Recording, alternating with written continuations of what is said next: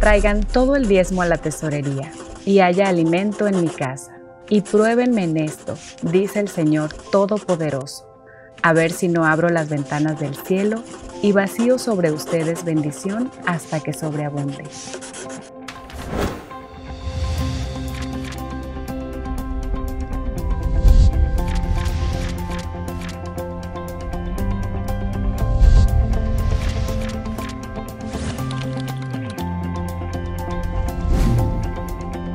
Hola estimados amigos y hermanos, es un privilegio darle la bienvenida a este repaso de la Escuela Sabática Universitaria. En esta ocasión me acompañan tres representantes de la Facultad de Teología, a quienes les voy a pedir que se presenten para que ustedes puedan conocerlos. Gracias. Mi nombre es Daniela Torres y yo vengo representando al Ministerio de Alma. Mi nombre es Asdrúbal Angulo, estudiante del cuarto año de Teología. Hola, Saludo a todos, mi nombre es Yael Casango y estoy estudiando el cuarto año en teología. Muy bien, esta ha sido una lección muy interesante que hemos repasado durante, durante esta semana y justamente vamos a ver los puntos importantes que esta lección tiene. Sin embargo, antes de esto vamos a orar para pedirle a Dios que nos acompañe en este repaso. Vamos a orar, inclinamos el rostro. Querido Padre que estás en los cielos, santo y glorificado sea tu nombre. Señor, te agradecemos por la oportunidad que nos das de poder llegar a otra semana, poder leer la lección y poder disfrutarla también. Te pido que puedas estar aquí con nosotros para que podamos discutir las cosas que son esenciales, importantes y cosas que tú nos has dicho y que tú nos has mandado para que podamos hacer y aprender. Todo esto lo pido en el nombre de Jesús. Amén. Amén. Muy bien, durante esta semana estudiamos el origen del diezmo, lo cual es muy importante porque hay personas que a veces tienen duda en cuanto a esto y a veces se les dificulta este, el diezmar. Pero ¿cuál es, ¿cuál es el origen? Algunos dicen que fue dado para el pueblo judío y que como fue dado para el pueblo judío, bueno, pues no somos judíos porque tenemos que diezmar. ¿Cuál es el origen de acuerdo a lo que estudiamos durante esta semana? Quisieran ustedes ayudarme, Yael, Asdrúbal, Daniela. Sí, bueno, es interesante notar, encontramos en la Biblia dos referencias al diezmo que son anteriores incluso a la existencia del pueblo judío. La primera de ellas la encontramos en el libro de Génesis, capítulo 14, versículos 17 en adelante. Allí nosotros vemos que después de que Abraham libera a su sobrino Lot de el cautiverio, se encuentra con un personaje muy particular de la Biblia llamado Melquisedec, a quien se identifica como sacerdote del Dios Altísimo, y el texto nos dice que Abraham le da los diezmos de lo que tenía. Y es importante porque en ese momento no existía la nación judía como tal. Es más, a Abraham se le había hecho la promesa, pero no se había completado en ese momento. Él ni siquiera había tenido descendencia. Ok. ¿Tú qué piensas, él?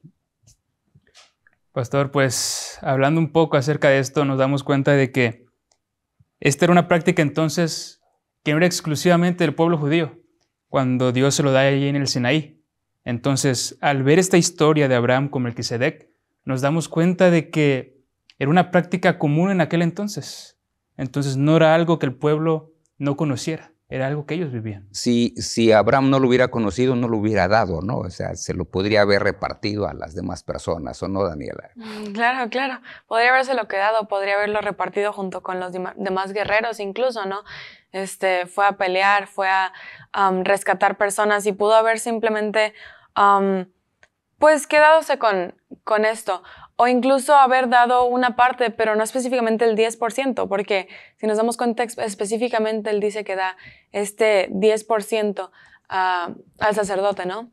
Sí, por eso es que tenemos que recordar que el diezmo es la décima parte de lo que nosotros obtenemos de ganancias, ¿no? Para que podamos quizá tratar de entenderlo. Pero esto nos lleva a otra pregunta, en cierta manera. ¿Cuál es el propósito? O sea, ¿Cuál es el propósito de dar el diezmo? Ya mencionó un poquito, ya, lo introdujeron ustedes hace un ratito, pero, pero ¿cuál es el propósito del diezmo? ¿no?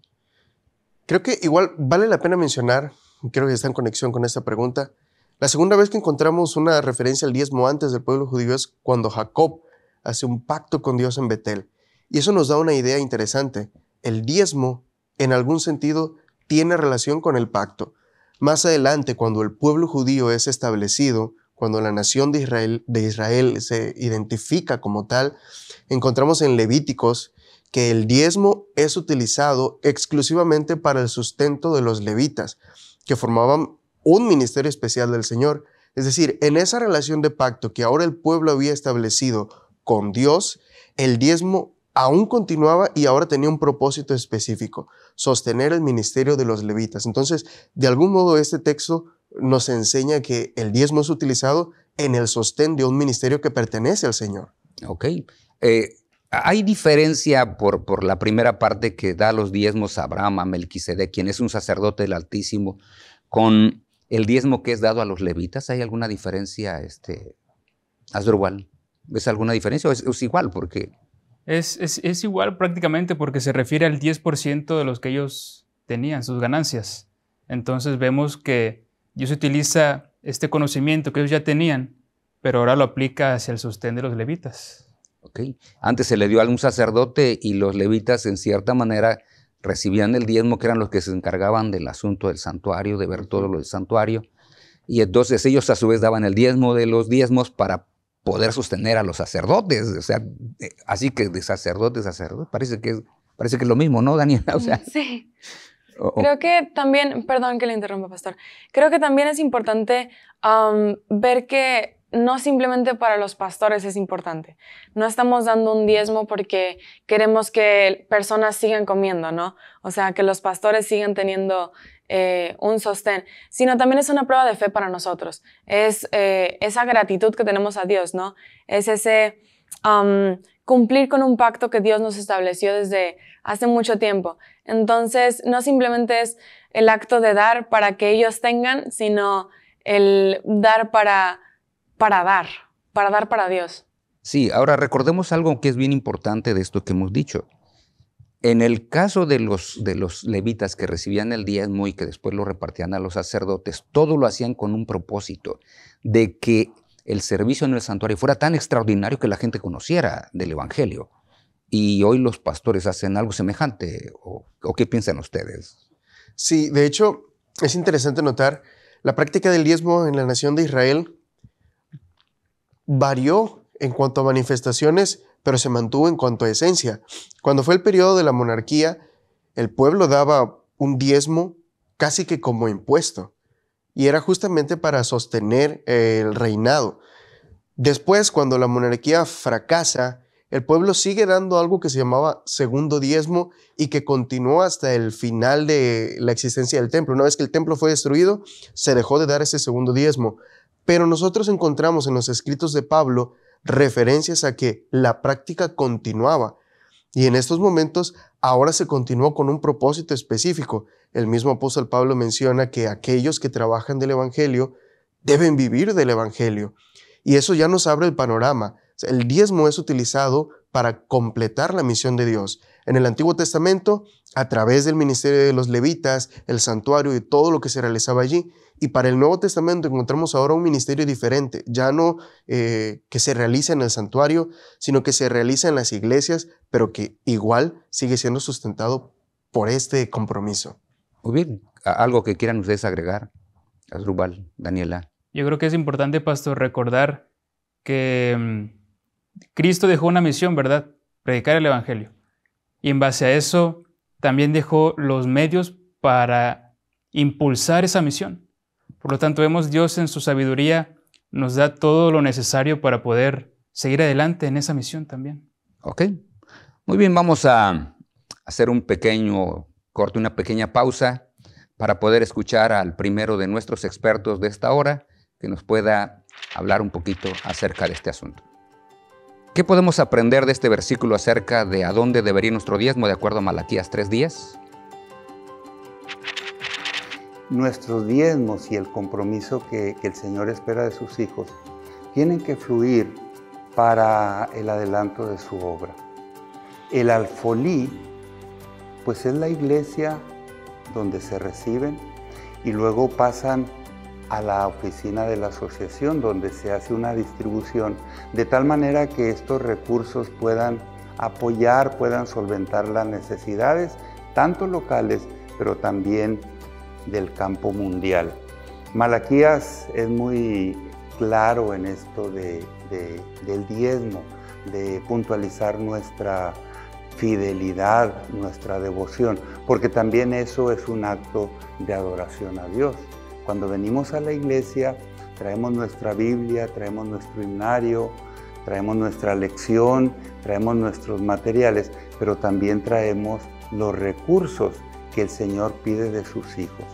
Y Él dice, traed todos los diezmos y depositarlos en el alfolí de la iglesia.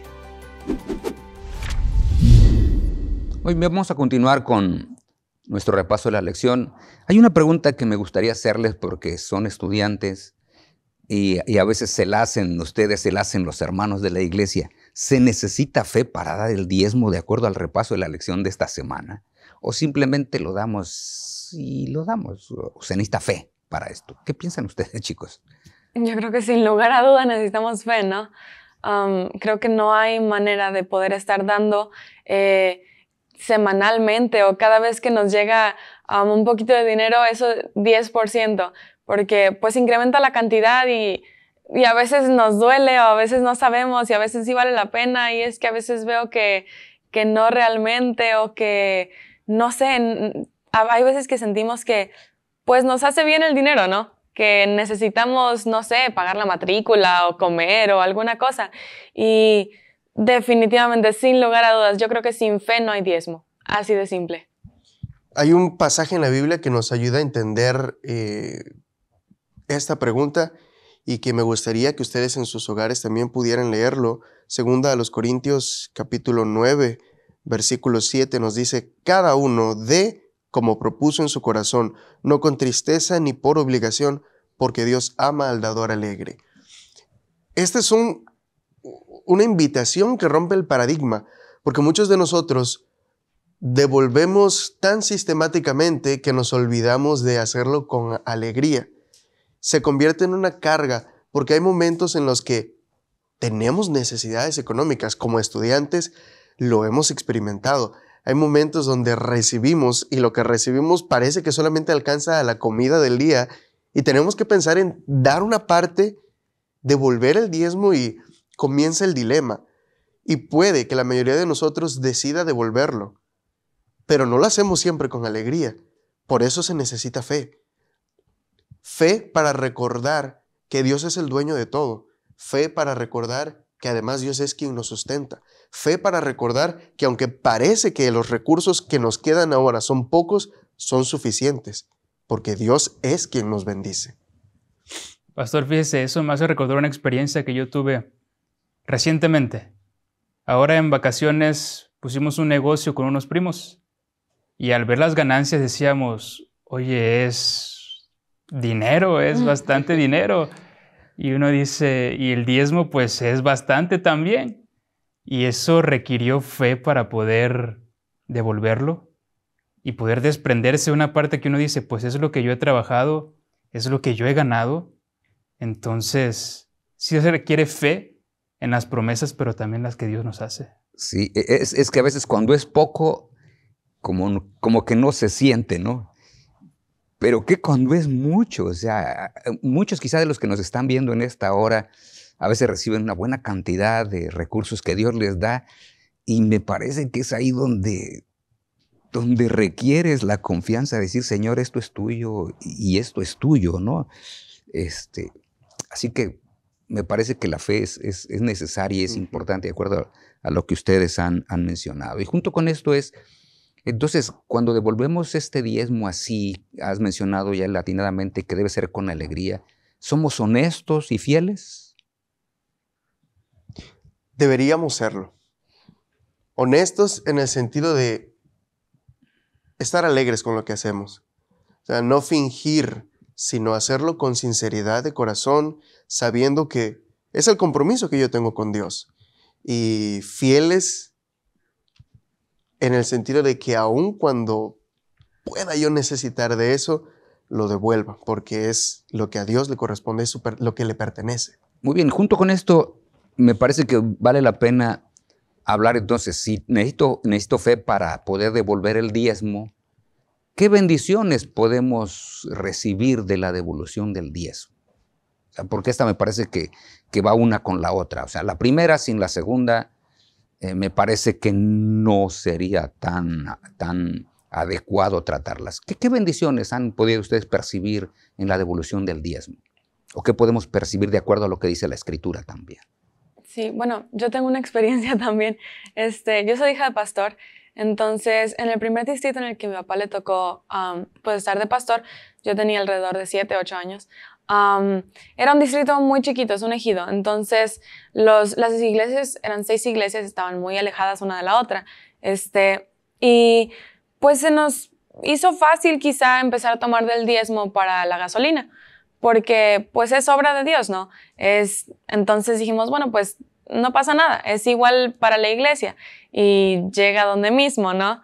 Entonces, este, lo empezamos a hacer y al hacerlo nos dimos cuenta de que nos empezaba a faltar y cada quincena nos faltaba y nos faltaba o llegábamos a penitas o no servía. Entonces, pensó papá y pensamos entre la familia, que estábamos haciendo algo incorrecto, estábamos tomando de Dios algo que era de Dios. Y no miento, el momento en el que empezamos a dar el diezmo completo, sin empezar a pensar si nos va a llegar para la próxima quincena, llegábamos. No sé cómo, pero llegábamos. Quizá con 20 pesos, quizá con 15 pesos, pero llegábamos.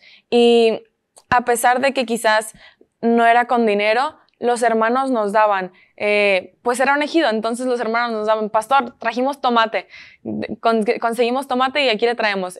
Y nos sobraba y no sabíamos qué hacer con tanto. Entonces creo que las bendiciones sobreabundan una vez que nos damos cuenta de que el diezmo es para Dios y es de Dios. Claro, y, retomando un poquito, recordemos que aquí en México a los pastores a todos nos, nos quitan en la oficina el diezmo y entonces damos un diezmo que es un segundo diezmo porque es la ofrenda que damos, pero también tenemos que, dar eso, eso completo, ¿no? Pero entonces uno ve las bendiciones y esas bendiciones son extraordinarias que creo que todos hemos, hemos experimentado. Me parece que muchos de los que nos están viendo en este repaso han experimentado esas bendiciones que justamente el libro de Malaquías en el capítulo 3, que es muy conocido, el versículo 8 en adelante, bueno, hay que traer los diezmos porque cuando lo haces, las bendiciones del cielo se derraman en abundancia. Entonces, ¿de qué otra manera podemos ver esas bendiciones nosotros?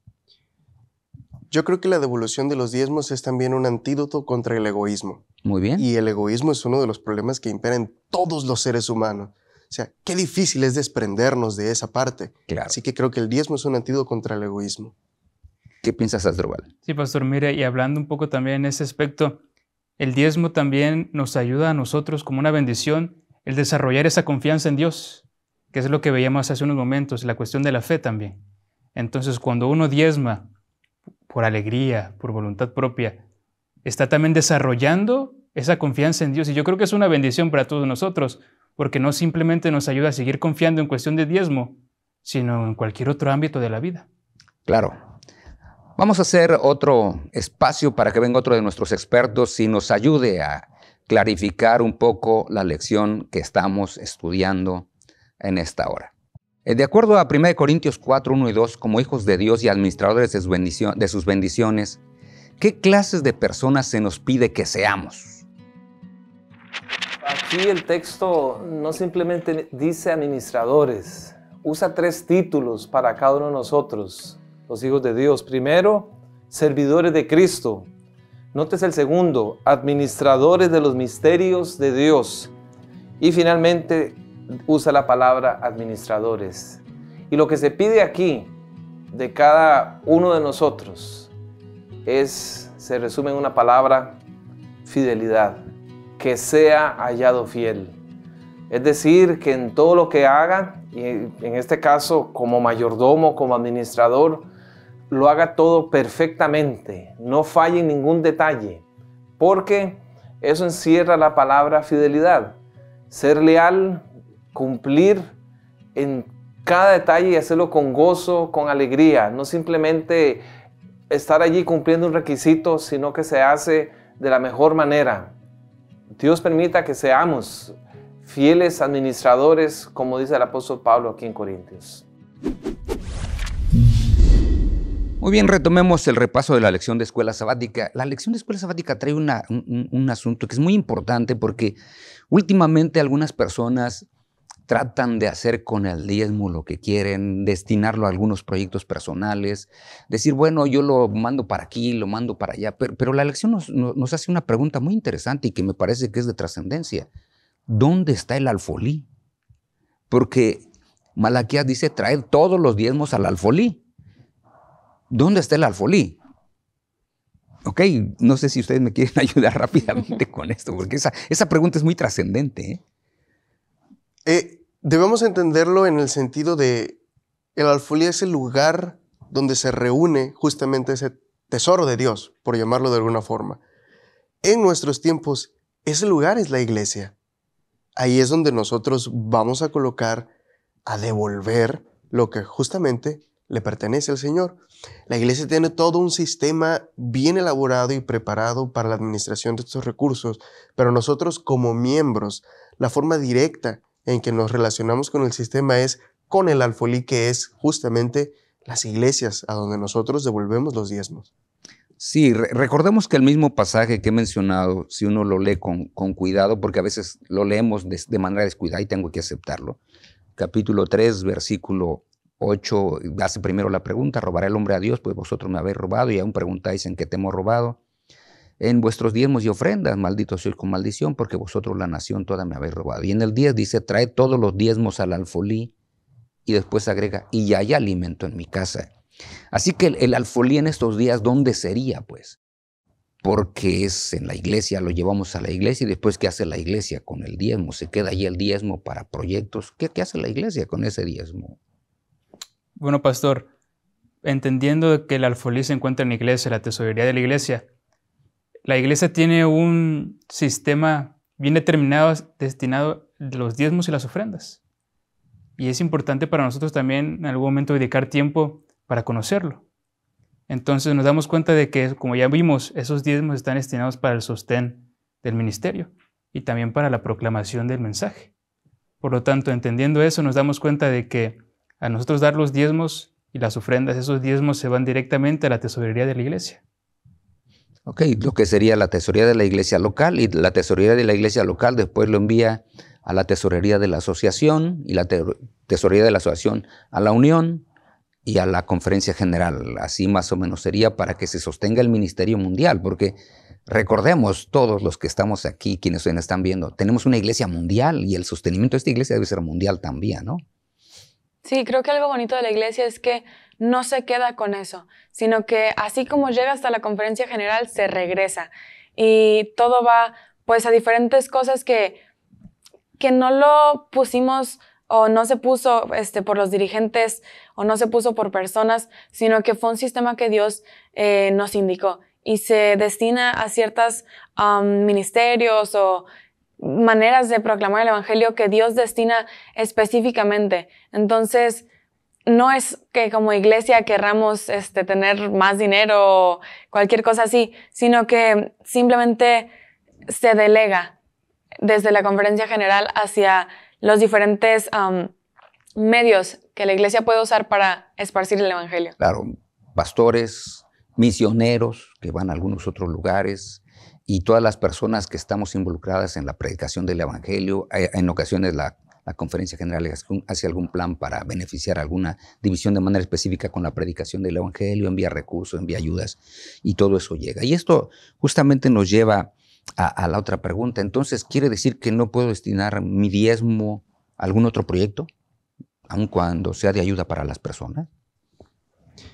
Esa es una pregunta que a veces como que genera dudas en nosotros, porque uno puede razonar y negociar incluso y decir, bueno, si el diezmo se usa para la proclamación del Evangelio, ¿por qué no lo uso yo para eso? Pero nos olvidamos de un aspecto muy importante, y es que en Levíticos 27 Dios dice que el diezmo le pertenece, no es nuestro. Lo que a nosotros se nos indica es devolverlo. Lo que Dios hace con el diezmo, por así decirlo, es asunto de Dios, pero a nosotros solo nos toca devolverlo. Eso es lo que nos compete. Ok, me parece que es correcto. Pastor, fíjese, quisiera que regresáramos un poco a Malaquías 3.10, porque la primera frase simplemente nos dice, traed todos los diezmos al alfolí. Y ya nos dimos cuenta de que la alfolía actualmente se encuentra pues en la tesorería de la iglesia local. Por lo tanto, es una orden de Dios que ese diezmo que nosotros damos sea para la iglesia.